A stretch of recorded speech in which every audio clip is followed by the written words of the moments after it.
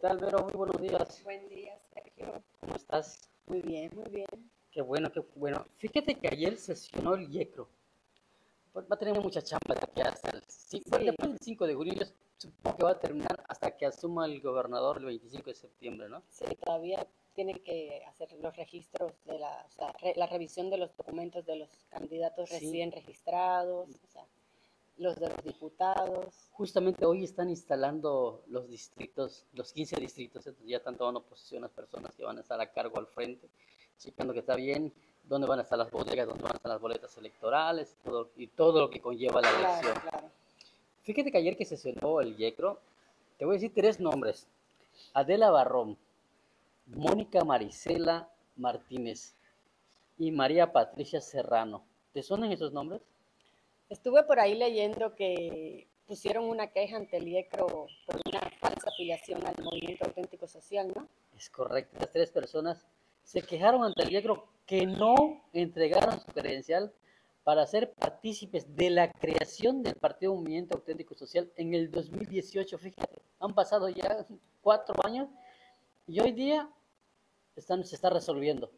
pues cada partido necesita un número de afiliados para poder, para que tengan un registro, ¿no? Es Entonces, correcto. al inicio del partido, ellas se afilian y hoy, bueno, en, en diciembre ponen la queja de que no están Ya participaron. afiliadas. Exactamente. Pero ya el IECRO hizo toda la, La averiguación pertinente, ¿no? la comparación de firmas, revisión de documentos y, y sí, eh, efectivamente sí están, sí fueron afiliadas por ellas mismas, no fue una falsa afiliación. Como ha sucedido en otros casos. Sí, porque recordemos que para la revocación de mandato aparecieron muertos que estaban dando firmas para la revocación de mandato, ¿no? E igual partidos políticos que han sido sancionados precisamente por eso, por eh, recurrir a falsas eh, micas para eh, los datos. Todo el mundo te pide una, una identificación y sacas tu credencial de elector. Pero esa credencial luego es más mal usada, por lo visto. Sí, porque anotan tu número de, de identificación y con eso pues la, la malusan en cosas que Exactamente. no se deben. Exactamente, pero ahora el IECRO determina que no, que no es, es falso lo que estas personas están argumentando. Pero igual lo mismo pasó con María Jesús Alvarado Quintal. Ella pasó con el otro partido local. Pues con confianza por Quintana Roo. Exactamente, lo mismo pasó, se quejó de que no, que nunca se inscribió y todo igual. Tras las investigaciones y todo, dice, dijeron que se presentara para que hiciera un cotejo de firmas y todo, y nunca asistió. Y dice, si no asistió es porque está aceptando su responsabilidad, que sí se afilió, Claro. aunque después quiso echar marcha Sí, atrás. son artimañas que, que usa la, la gente pues para dañar de alguna manera la imagen del, del partido, ¿no? Y tratar de que se le impongan multas y, y sanciones por un acto ilícito que finalmente no está sucediendo. Digo, repetimos, porque luego sí es, sí es común que hacen, hagan eso los partidos, o sea, falsificar firmas.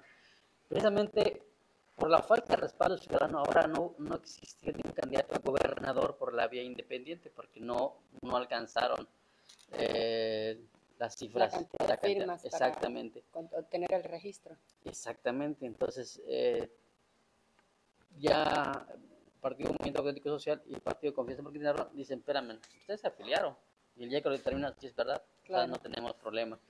Pero además hubo otro, otro detalle, en Otro el, punto otro en punto. Ayer se dedicaron a sancionar y a ver qué estaba pasando y- en el YECRO. Y también hay otro punto. Van a hacer una observación pública un- o una, Una amonestación. una amonestación pública al Partido Movimiento de Regeneración Nacional, Morena, por haber permitido que, fíjate, que José Luis Pech, que ya no está que en ya no es Morena, candidato de Morena. ya no es Morena, ya no está Morena, ya es del Movimiento Ciudadano, pero va a hacer una, recibió una amonestación pública por haber permitido que diera su, ter- su mensaje sobre sus- su trabajo legislativo fuera de tiempo. Y aparte porque se anunciaron espectaculares en la ciudad de Chetumal. Así es. Y pues, cabe mencionar que una de las magistradas eh, no estuvo de acuerdo con que solo la sanción fuera al partido, sino que también tenía que haber sido al candidato, pues porque los dos son parte del, del mismo proceso, ¿no? Claro, va de la mano. Tú, te- te- tú promueves tus acciones legislativas, pero yo te Pero respaldo. el partido te respalda. Pues, La Exactamente. amonestación debió haber sido para los dos, Ese fue el argumento de la... aunque solamente fue para el partido. aunque Pero fue una amonestación pública. Si fuera dinero, yo creo que sí. Sí, pero esto eh, a José Luis Pech lo van a, van a analizar si lo van a colocar en el catálogo de sanciones del, del IECRO. Ese ya es otro punto. Exactamente. Morena, el caso de, de la fuera de fuera de tiempo, de su, sus trabajos administrativos, pero también por otro caso también fue denunciado José Luis Pech por hacer, se le denunciaba también por actos de pre-campaña, pero en ese momento no se sabía si iba a ser candidato ni nada. Entonces se da cuenta que los partidos dicen, ah, por si ese se le ocurre, vamos a meterle. Claro. Entonces, a José Luis Pech, fíjate que sí eh, se le va a colocar el catálogo de, de, De sanciones. de sanciones si en caso de que él no, no, se defienda. no se defienda, No tenga exactamente. cómo probar que no, no sucedió. Exactamente, porque él dice, yo cumplí di mi, mi informe legislativo a los ciudadanos quintanarroenses, pero lo hizo fuera de tiempo, ya violó una ley. Exactamente. Entonces determinó el YECRO, vamos a, a sancionarlo. Ya emiten la sentencia de que va a ser escrito en el catálogo de, de inhabilitaciones, no, catálogo de sanciones. de ¿no? sanciones. En caso de que no lo no se defienda, puede ser, puede ser inscrito en ese catálogo hasta por cuatro años. Durante cuatro años va a aparecer sancionado. O sea, in- inscrito en el inscrito, catálogo. porque ahorita que ya hizo el YECRO, el YECRO va- se va a conocer al Senado. El Senado va a decir, espérame, pues ya, ya, ya está pidió licencia, porque ya pide licencia el primero de marzo. Exactamente. El primero y 2 de marzo les pide licencia para dedicarse ya lleno a la candidatura de Movimiento Ciudadano. ¿Cómo ves? Pues mucho trabajo, mucho El trabajo. El IECRO ahora sí tiene que estar bien movido porque, y como estos temas pues van a seguir apareciendo Más. más, por ejemplo, ya hasta el día 5 de, de abril tienen, 5 de marzo, ¿no? 6 de marzo. 6 de marzo tienen los candidatos. Todos los servidores públicos que deseen participar en las próximas elecciones como, Como can- di- candidatos a diputados tienen que pedir licencia.